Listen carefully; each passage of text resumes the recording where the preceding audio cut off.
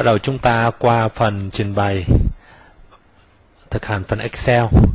Trong phần này, các bạn sẽ trình bày bằng tính, lập công thức ở các ô có chấm hỏi và lưu bằng tính với bài thi Excel.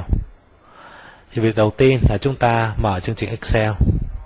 Sau đó, chúng ta sẽ lưu lại tập tin là bài thi Excel lưu vào trong thư mục làm việc của chúng ta, đó là bài thi mẫu 1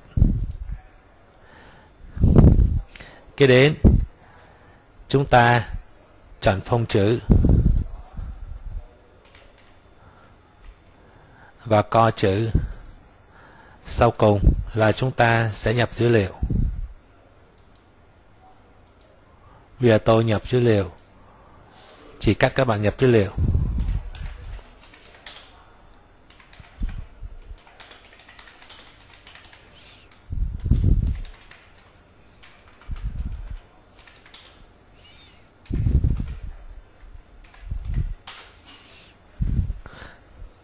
Các bạn sẽ nhập dữ liệu thô cho toàn bộ từng bảng tính. Sau khi các bạn nhập xong, thì các bạn định dạng sơ qua trên từng vùng của bảng tính để nhìn cái bảng tính được rõ ràng. À, trong phần bài này thì tôi có nhập phần Excel sẵn trước.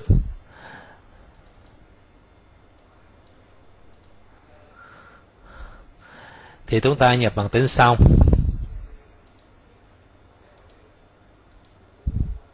nhập xong thì chúng ta kẻ khung cho từng bảng để bảng tính của chúng ta đã được rõ ràng hơn.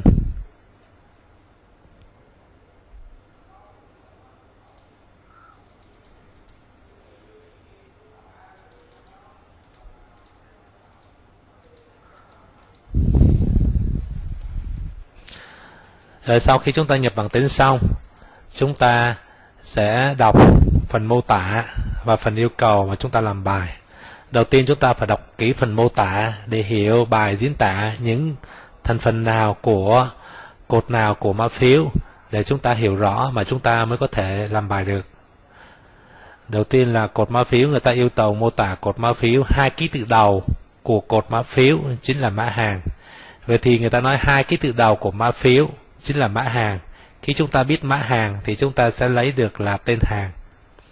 Ký tự thứ ba của cột mã phiếu chính là mã nhà sản xuất. Khi biết được mã nhà sản xuất thì chúng ta sẽ dò tìm ra được nhà sản xuất. Ký tự thứ tư, năm chính là ngày bán. Ký tự 6, 7 là tháng và năm là 2015. Ký tự cuối cho biết loại hàng. Sau khi chúng ta đọc ký mô tả xong, bắt đầu chúng ta làm theo yêu cầu. Câu thứ nhất, ngày bán. Người ta bảo dựa vào ký tự thứ tư, năm, sáu, bảy đổi ra dạng ngày tháng năm. Chúng ta biết rằng trong Excel có một cái hàm để chuyển đổi một giá trị chuỗi về dạng số. Đó là hàm date. Chúng ta đổi một giá trị chuỗi về kiểu ngày tháng đó là hàm date. Thì hàm date chúng ta được thực hiện như sau. Hàm date này có 3 tham số. Tham số đầu tiên là 5,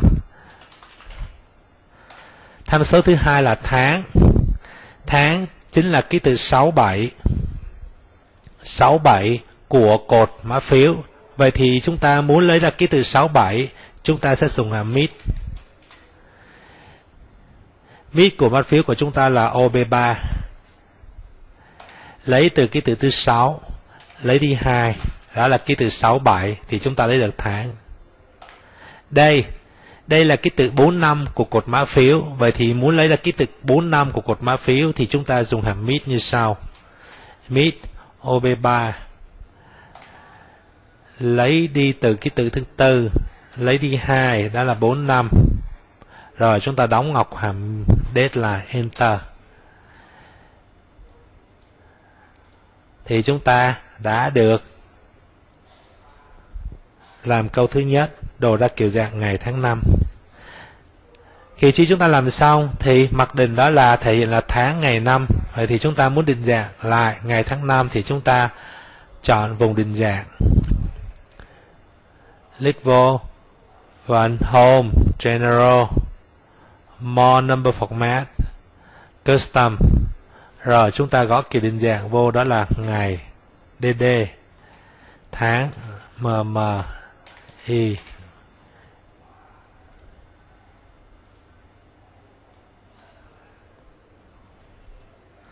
Qua câu số 2 Câu số 2 tên hàng dựa vào mã hàng và tra trong bảng 1 Dựa vào mã hàng, tra trong bảng 1 Mà mã hàng chính là hai ký tự đầu của cột mã phiếu. Chúng ta tra trong bảng 1 để lấy được tên hàng. Về việc đầu tiên, chúng ta muốn lấy hai ký tự đầu tiên là chúng ta dùng hàm lép. Lép cột mã phiếu, Lấy đi hai. Thì chúng ta lấy được hai ký tự đầu. Hai ký tự đầu chính là mã hàng sau khi lấy hai ký tự đầu xong, chúng ta dò tìm trên bảng 1 để lấy tên hàng. Mà dò tìm thì chúng ta sẽ sử dụng hàm VLOOKUP. Hàm VLOOKUP là hàm dò tìm giá trị nằm ở trên cột. Hàm VLOOKUP này chúng ta có 4 tham số. Tham số đầu tiên được gọi là lookup value, đó gọi là giá trị tìm. Tham số thứ hai, table array, đó là vùng vùng dò. Vùng dò này chúng ta quét và chúng ta nhấn phím F4 để tạo vùng tuyệt đối. Tham số thứ ba của hàm VLOOKUP đó là cột trả về từ vùng dò. Ở trên vùng dò này chúng ta có hai cột, cột 1, cột 2, màu tên hàng đó là cột thứ hai thì chúng ta gõ số 2 vào. Tham số thứ tư đó là tham số cách tìm. Có hai cách tìm, giờ tìm sắp xỉ và giờ tìm chính xác ha. Ở đây giá trị chúng ta tìm là chuỗi cho nên chúng ta phải dò tìm chính xác cho nên ở đây chúng ta gõ chữ phone hoặc là gõ số 0 copy công thức ra.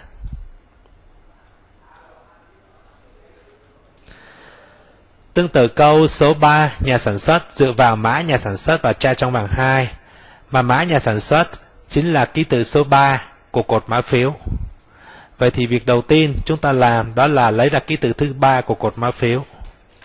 Mid của mã phiếu. Lấy từ ký tự thứ ba, lấy đi một. Đây được gọi là mã nhà sản xuất. Sau khi lấy mã nhà sản xuất thì chúng ta dùng hàm dò tìm trên bảng số 2 để lấy tên nhà sản xuất. Mà muốn dùng hàm dò tìm nào, vậy chúng ta xác định dò tìm trên dòng thì chúng ta có hàm gọi là hàm HLOOKUP. Hàm HLOOKUP này dò tìm giá trị nằm ở trên dòng. HLOOKUP này có 4 tham số. Tham số đầu tiên gọi là giá trị dò. Tham số thứ hai, table array gọi là vùng dò. Tham số thứ ba đó là dòng trả về từ vùng dò, là dòng số 2. Tham số thứ tư là cách dò. Cách dò đây là dò tìm sắp xỉ và dò tìm chính xác. Đây dò tìm chính xác bởi vì Giá trị tìm của chúng ta đó là kiểu chuỗi cho nên ở đây chúng ta trả về số 0 là tìm chính xác là full.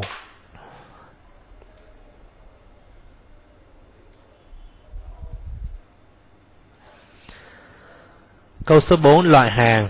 Nếu loại hàng là chữ N thì ghi là nhập, là X thì ghi là xuất.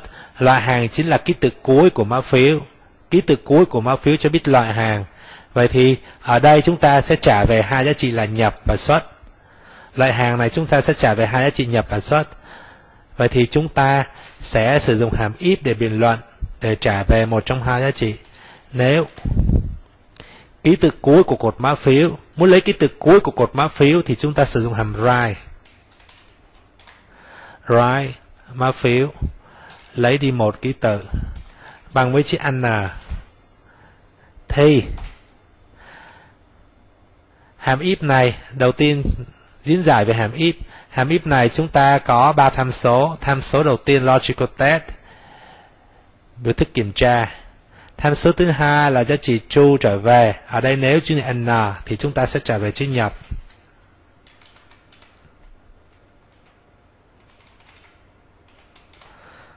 Ngược lại không phải chữ n thì chúng ta sẽ trả về chữ short. Đóng ngoặc hàm if là enter.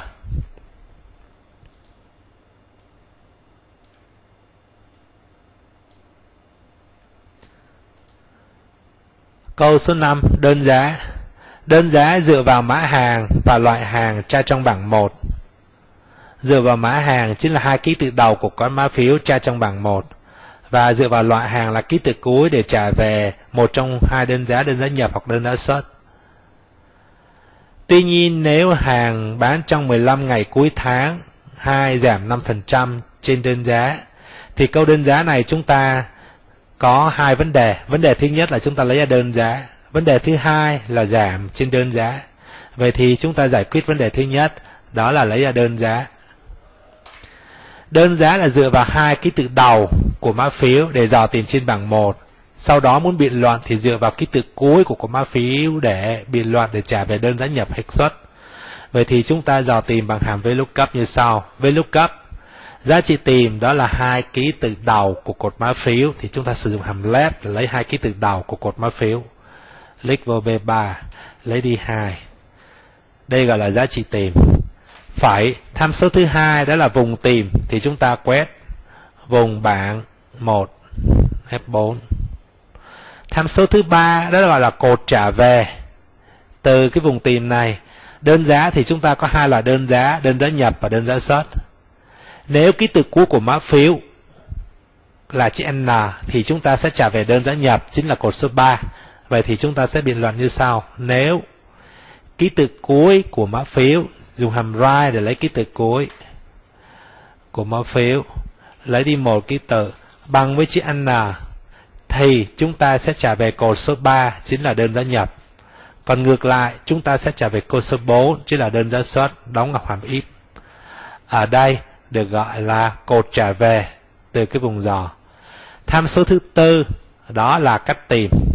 Chúng ta sẽ vào tìm chính xác đó là exact match là full hoặc là gọi số 0. Rồi enter.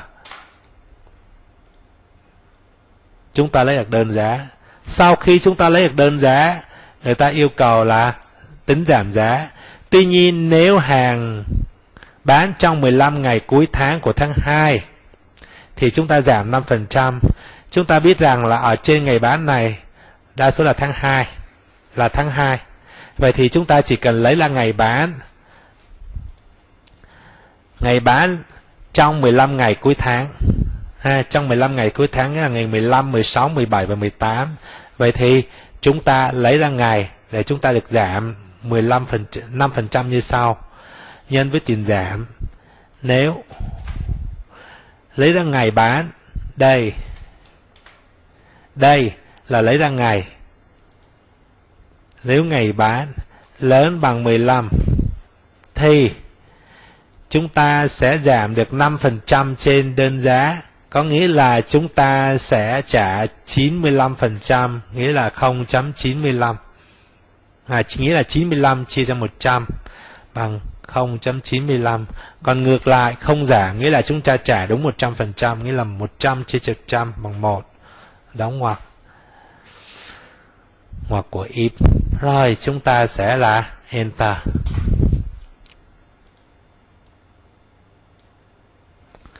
Vậy thì chúng ta kiểm tra đây lại.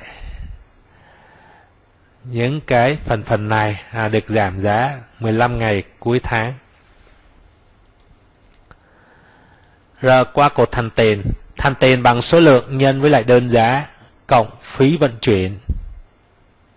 Biết rằng hàng nhập có phí vận chuyển là 1% của đơn giá, hàng xuất có phí vận chuyển là 1.5% của đơn giá.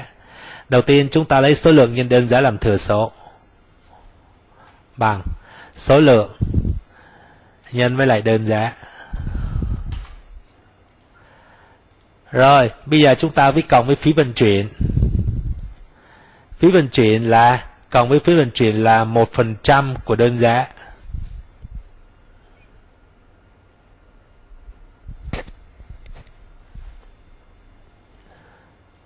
Vậy thì chúng ta sẽ bình luận như sau. Nếu ký tự cuối của phiếu, của mã phiếu, nếu right, ký tự cuối, lấy đi một của mã phiếu bằng với chữ n thì một phần trăm của đơn giá. Một phần trăm. Nhân với lại đơn giá. Còn ngược lại. Ngược lại là suất là 1,5% của đơn giá. Suất có nghĩa là 1.5% nhân với lại đơn giá rồi chúng ta sẽ đóng ngoặc lại rồi chúng ta enter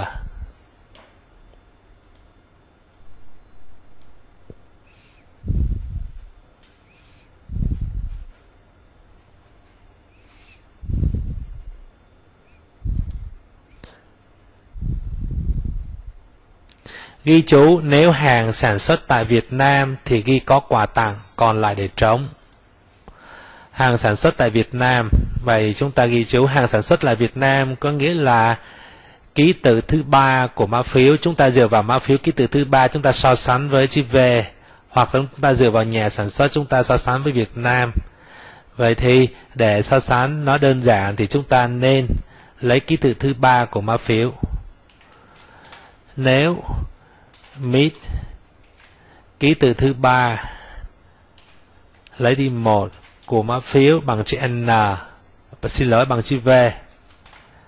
Thì, chúng ta sẽ ghi là có quà tặng.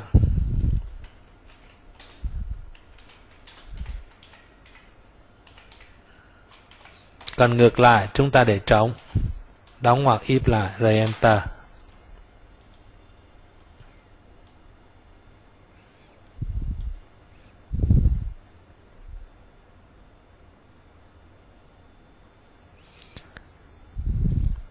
Câu số 8 lập bảng thống kê ở bảng số 3. Bảng số 3 này người ta yêu cầu thống kê số lượng thống kê tổng số lượng của từng từng nước, từng nhà sản xuất.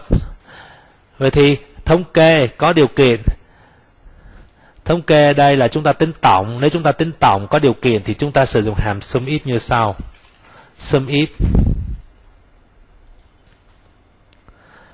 cột chứa điều kiện.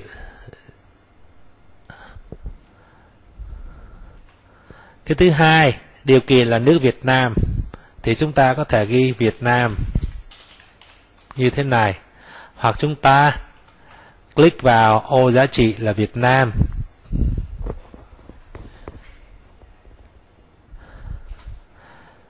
Tham số thứ ba, đó là cột tính tổng, đó là cột số lượng. Rồi, chúng ta enter. Ờ, thì chúng ta kiểm tra lại.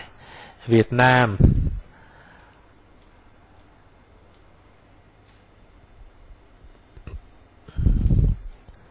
mười sáu mười sáu, ba hai. ba hai với ba hai là sáu mươi bốn rồi, kết quả là sáu mươi bốn đúng, tương tự, làm cho pháp. Chúng ta cũng làm tương tự.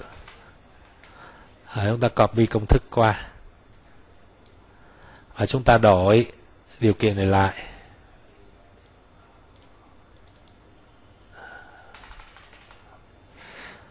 Pháp. Đòi điều kiện Mỹ lại.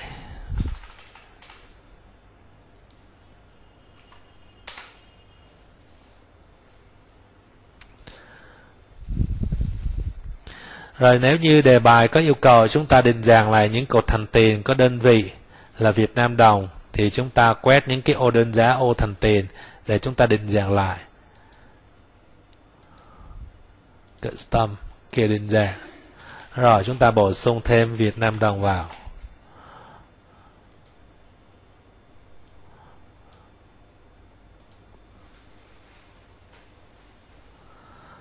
Rồi, chúng ta đã xong phần Excel. Hẹn gặp lại các bạn trong bài giải kế tiếp.